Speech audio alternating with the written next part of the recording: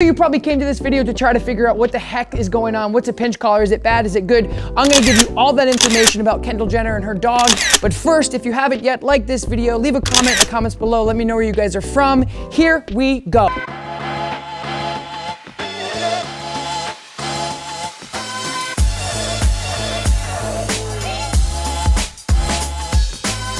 Thing I wanna say is the prong collar that Kendall is using with her dog in this picture is not the same prong collar that's being compared in all of the photos.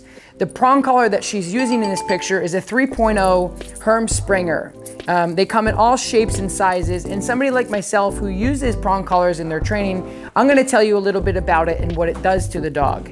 So most times dogs will pull on the leash and go out of control because they're dogs and sometimes they should do that.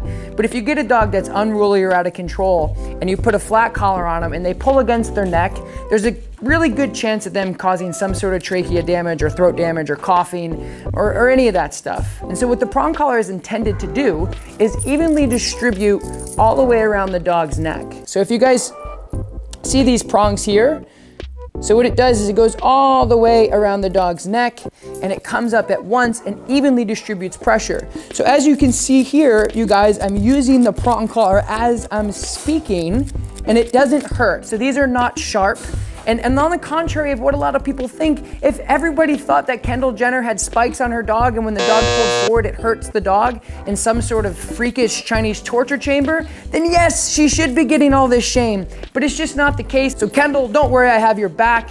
Anybody out there that doesn't like prong collars, that's totally okay. You have your right to like what you like and what you like to train with, just as people like myself who use prong collars do as well. But I think it's important for everybody to know that when you put pressure on a prong collar, it does not hurt. It's simply there to evenly distribute the pressure so the dog doesn't have any tracheal larynx damage to the dog's throat or neck. Excited we are.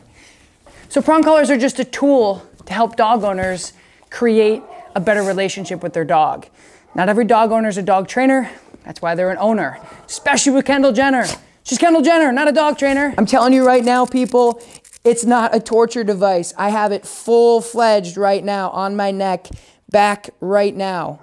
And I'm telling you, it, it it, it, causes restriction and that's about it. It's there to get your dog's attention safely, effectively, humanely. It's a beautiful tool if used properly. It's not- All right guys, that's a wrap. Thank you so much for watching this video. If you haven't yet, don't forget, like, subscribe to my channel. The best way to support me is do those things. Turn on your notification bell. I'm Tom Davis, America's Canine Educator. I will talk to you next time. Peace.